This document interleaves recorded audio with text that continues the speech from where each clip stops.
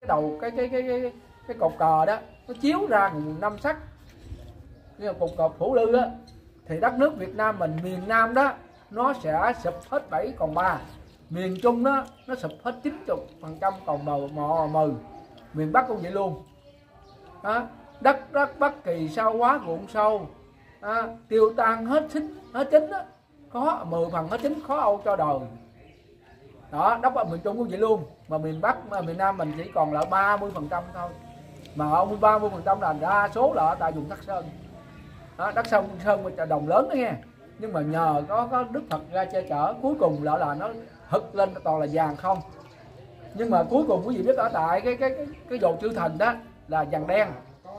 Ở tại đó đó ẩn vàng đen. Cuối cùng là người ta vô để tranh giành. Tranh giành cái ngôi báo. Ờ, đó còn tranh giành ngô báo là cuối cuối cuối cuối cùng là là nó sẽ chết hết trơn. Đó thì tất nhiên á thành nó còn một cuộc chiếu manh nè. Chiếu manh là ở tại miền nam mình ở tại vùng châu đốc xuống long xuyên. Giành xé khắp hoàn cầu ó ghé một nơi dòm xem châu ngọc đó. Châu ngọc là gì? Đó, toàn là màu son màu đỏ chiếu thực khởi lên. Đó không? Nước nam như thế cái đầu ngày sau có nước đâu đâu một tùng. Đó hãy chừng bảy núi đầu son đầu son đó. Đầu son là những cái tên nghe. Tên của cái người mà tu người mà thành thần thành tiên thành phật đều là cái bản và màu màu đỏ. Sơn son phết vàng.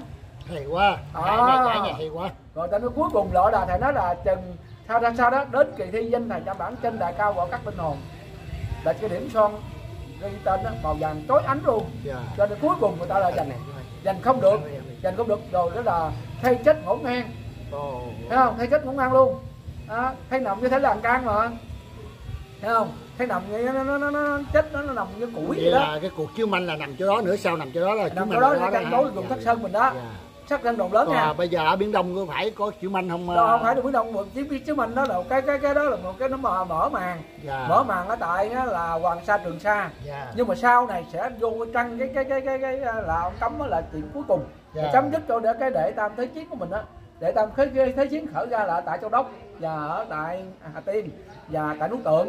Dạ. ba nước sẽ, sẽ đi qua đó là lào thái campuchia. Phía sau có hai nước mạnh nữa hùng cường nữa. Thứ nhất là tàu mà chưa biết ai nữa. Dạ. bây giờ có bốn nước rồi phải không? Thêm một nước nữa đó thì nó sẽ xô qua bên đây. Ồ. thì nó qua rồi đó nam giang nhà nhật nhà dâu nhà sao kiếm trả lá ngồi không ra. Nó qua đây rồi người ta hồi xưa đức phật thầy nói với tất cả tín đồ đó là nó ngồi cái chân gấp trong đồ không có dám rồi mình dài dài vậy là nữa nó xuống mình có chơi được không? Mình nói giờ mình tu đâu có chơi đây nè nó vậy hả dâu mình tu không. Ừ, ừ có nhờ bác có chở nhà nước ta chơi rồi ta ờ chơi đó rồi. mà có cái người người cái khác ta đường mà đi qua bên nhà bạn đó là cái đường chiến lược đường quốc phòng đó. Ở đó. Nữa nó xuống là cái ờ, quân đội nhân dân mình tính nó chứ mình tu đâu Ờ, có mình đâu tính đâu. Mình nói đức phật dạy mình tu mà. À. không có Bây chiến giờ tranh cái này nó dính níu tới cái câu này nè huynh đệ. Dạ. Cái câu đức thầy nói là nước Việt Nam nhằm cõi trung ương đó. Ờ, sao cho có ông, ông, thêm? ông, ông giảng thêm cái hai cái câu đó đi. Yeah ờ nó dính níu à, nước việt nam nằm cõi trung ương. À. sao sẽ có phật tiên tại thế? Dạ. Nước Việt Nam nằm cõi trung ương là biết không? Hồi xưa đó Ấn Độ đó ở trung ương là tại thành cai trị là vậy dạ. Ở bên Trung Hoa đó là ở tại núi Tung Sơn Hùng Vĩ Sơn đó là trung ương. dạ nhưng mà ở đây Đức thầy chọn rồi. Thầy nói là đất Việt Nam nhằm cõi trung ương. Thì đất nước Việt Nam trung ương ở đâu? Ở tại Hòa Hảo. Chính xác Đức thầy ra đời đâu là chỗ đó là gọi trung ương. Nhưng mà Long Hoa lập tại nhà bàn đó mới là trung ương. Mở hội Long Hoa cái căn đó đó. Thì ở đây mình nói muốn nói chỗ Đức Phật ra đời. Đó ví dụ như giờ Phật ra đời là ông Phật Đại Trang ở đâu? Ở chợ mới. Cũng An Giang là trung ương Đức Phật trùm ở đâu? Là ở Sóc Lương Phi cũng là ở An Giang trung ương. Thấy không? Rồi tới Đức Bổn Sư ở đâu? Ở tại- Ba Trúc cũng là trung ương. Là cái điểm chính của Đức Phật ra đời đó. Rồi Đức Phật Đại Trang ở tại là Thịnh Định Thế Sơn Trai Ruộng. Sư giải bán khoai cũng sư ở quan ở ở An Giang luôn ở giờ kinh Vĩnh Tế. Ở kinh Vĩnh Tế cũng à, đó An Giang luôn. Bây giờ nãy Đức nói thầy à, mình. qua một cuộc chiếu manh đó để rồi bây giờ như vậy là còn cái câu này nữa là bây giờ nó thấy nghe cũng sôi nổi lắm là mà ta bàn ta thấy là cũng là chưa ta chưa chịu ta nói câu là tầng ban hậu hạng tiêu du động á, nam quắc lương dân kiến linh xa phồn qua đôi hội lui như quyết á, dư đảng dọc ngang khắp ma ha đó. Như vậy là tầng ban là tầng là sao? Tầng là cái này người ta nói là tầng là như thế nào? Tầng là ông tầng thủy hoàng hay là tầng là miên hay tầng sao đó là để giải luôn bốn câu đó Dạ, nè. hay là tặng tần Tần, tần tầng tần tầng mới phải. Tần tầng tần ban. tần là cái nước thành tầng. thử ra là giờ, để trả lời câu này ông này rồi tới câu câu của ông nghe dạ dạ. Đó. Thì thử ra trung ương đó là tới đức thầy mình ở tại á, là làng trong làng hòa hảo tổng an lương nha. Ở đó tổng an lương quận tân châu nha. Người tỉnh châu đốc. Hồi đó chia làm hai tỉnh châu đốc là long xuyên. Đó long xuyên từ ở tại cái cầu mương kinh quýt bây giờ trở xuống đó, rồi cầu canh hạt đó. Cho nên đó đức thầy ở tại làng hòa hảo tổng an lương quận tân châu tỉnh châu đốc thì đây là trung ương. Thì đó là tây phương chợ gốc quá sa đàn thương xót nam kỳ lan giang Dạ. đây là trung ương. Dạ. có phật tiên có phật không có phật. Phật là ai? Phật thầy. Tiên là ai? Không tử đa. Mình sau này nhiều các vị tiên về phật lắm. Thầy nói long qua tiên phật đó ta bà lừa đọc con lành về chữ ma đây là cõi trung ương. Dạ. thầy nói tây phương chợ gốc quá sa đàn thương xót nam kỳ lan giang toàn là an giang không? Rồi rồi bây giờ giảng qua cái vụ uh, rồi quyết- đó. Gì rồi cái câu ông nói là tần ban hậu hận tiên diêu động nam quốc lương dân chiến linh xa phồn hoa đô hộ lưu dân quyết dư đảng dọc ngang chiếc cấp ma. Nhưng mà hỏi Tần- đệ cái này nha. Tần là mà đệ là phải đệ đệ rõ luôn nha. Này nhiều người có ta giải mà cũng chưa có ai đồng ý cái vụ này mà phải bữa nay giải siết cò vô đi được siết cò đi. Tần đó nếu nói tần là tần thí hoàng là ở nước tàu đó thấy không? Nó không chính xác. Dạ. Đây là tần là miên. Miên.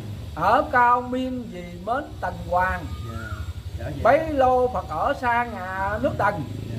bây giờ có phật trở lần về nam.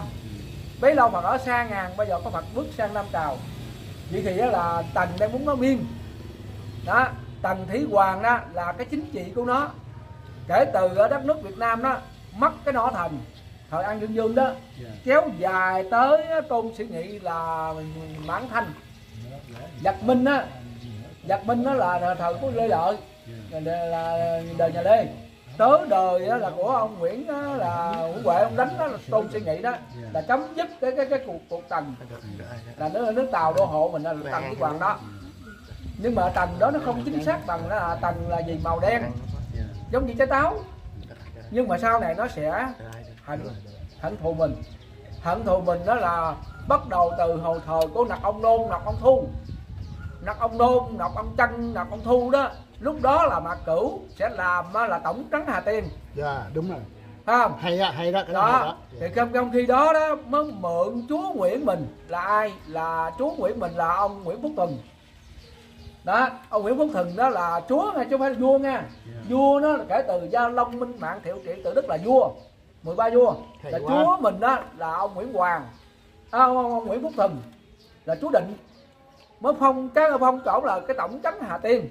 Đặt ông nôn đặt ông thu đặt ông trăng nó gọi là đất từ sài gòn tới đây là, là, là kêu qua cái gì? Tầm phong long.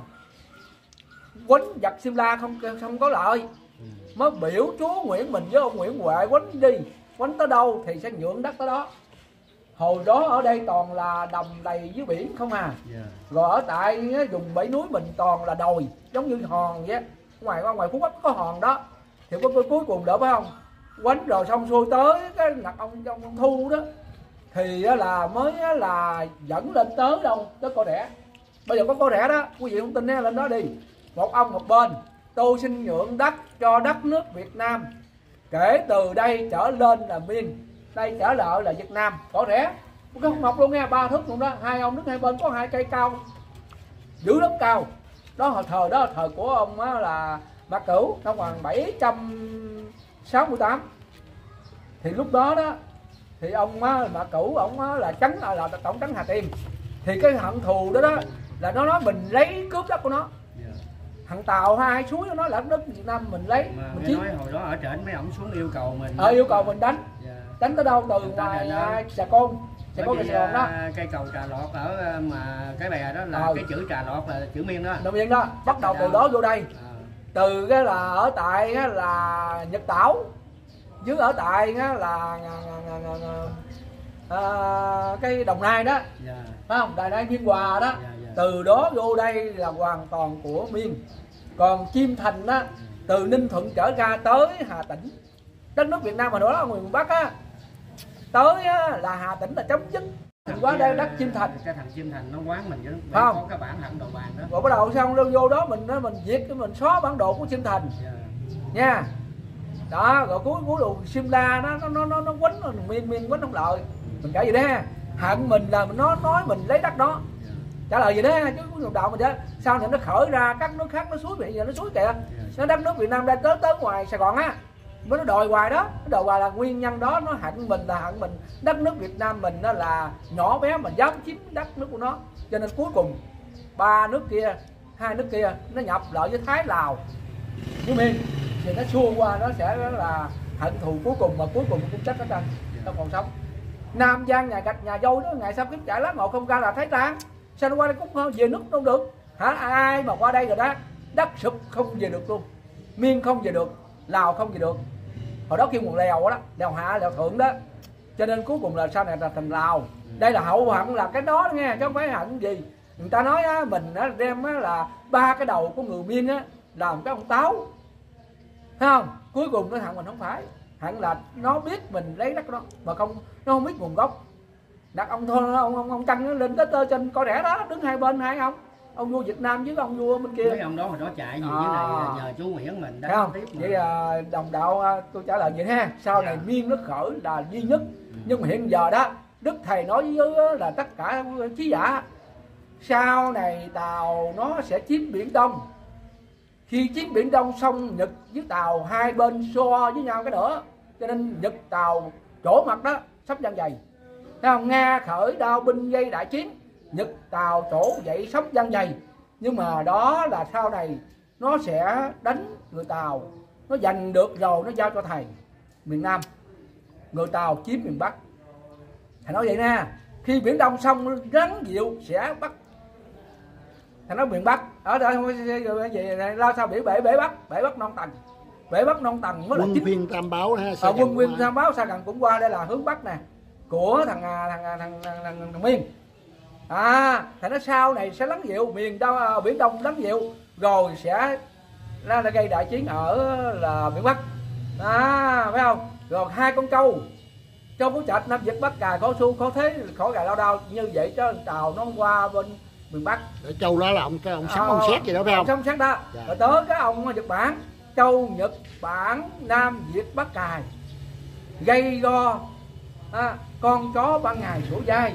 Thì hai châu về đây đi thì sẽ đệ tam thế chiến khởi liền. ồ Đệ tam thế thế thế chiến khởi như không khởi. Nhật Tàu rai chu vô. Nhật với Tàu bữa nay nó lai rai đó không? nó- Nhưng mà theo sau này nè, Nhật chiếm càng khôn đạt lý ờ, lý quyền. Tới anh phải không? Anh tiêu nè, anh kỳ sức cận khổ chân duyên. Đức nè, Đức ra quay về thâu bờ cõi Thằng Nhật với Đức không Đó, Nga tặng Việt dông nửa số dư Pháp quốc kỳ cùng lâm có tặng một Pháp để sao để tiêu? Nhà tiêu. Ờ, Mỹ đền khắc thủ bởi cơ thiên Mỹ tiêu luôn.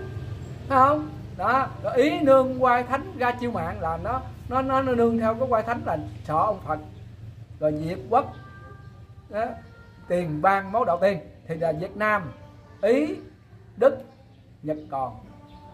Đó thì tụi mình trả lời với đồng đạo mình là hết ý bữa nay là, là vậy đó. Dạ Dạ. chưa đâu chưa đâu nó còn tới cái trận này nữa nè. Chăng gì nữa? Cái à, trận này nó tới cái trận này mà người ta cũng nói cái trận này mà tôi không biết thánh nhân nào mà nói ha. Cái này tôi không biết thánh nhân nào nói ai biết thì nói ra. à, cái câu mà mẹ đứa con kìa trên vách núi đó có trong núi đó có con chim đó nổi từ lâu đó Ờ. à, mỗi Đấy, khi có máu thánh vào đó Ờ, nó hiện lớn dùng bay khắp cả. mẹ đứa con mỗi lần nó gấp á ngàn muôn người Dẫn được như dẫn thường. được như đường mỗi lần cánh nó hoạt trương à, phố phường Nhà cửa sập. nhà cửa sập mà phố phường nát hết gì đó. là tôi không rành không cái vụ cái câu này. Thì bây giờ cái câu đó là bây giờ à, để giải hết giùm tôi bốn câu đó coi. Bây giờ À. tới đó là mới tới chuyện chứ là chưa đâu. Chừng nào mà nó gấp cái là ngàn muôn người đó chứ. À, thì như như vậy thì đây là, là còn hay nhất. Có chàng chàng nhất tôi không biết thánh nhân nào. mẹ lấy con kìa trên chót núi có con chim đá nổ từ đâu? Cũng giống có một chuyện xưa đó cũng na ná vậy đó. Có một chuyện nè chuyện đó là gọi là truyền thuyết. Gặp con cọp. Tới chừng nào con cọp có máu đó là có chiến tranh. Cái kha- quá khứ lâu rồi, không biết ai cho cái cớ nha. Mới lấy máu quẹt trong cái mắt con cọp à là cái này mình chưa biết nguồn gốc này là cái nó xuất phát từ đâu này mai mốt tôi hỏi đồng đạo nữa. Thì tôi sẽ là ờ, bổ sung cái tài liệu này. Là khi đó con nít nó chơi hay ai đó biết chơi cất cớ nó quẹt vô cái cái cái cái, cái con mắt cái con cọp cái tự nhiên là bắt đầu quý vị biết, biết chiến tranh nó xảy ra. Nào là đói nào nào chiến tranh nào là giặc giả đủ chuyện xảy ra hết. Nhưng mà ở đây thì à, là ông thanh sĩ nói mẹ đấy con kìa trên đất núi là nôn cát có con chim đá nổ từ lâu đến từng khi có máu là chiến tranh đó. Ừ. máu là gì à nó qua liền năm nước chặt đàn qua lộ dân giáo máu tràn thành sông. Đó. đó. Thì dâng lên dâng lên tới cái mỏ ông cát đó. Dâng lên nghe.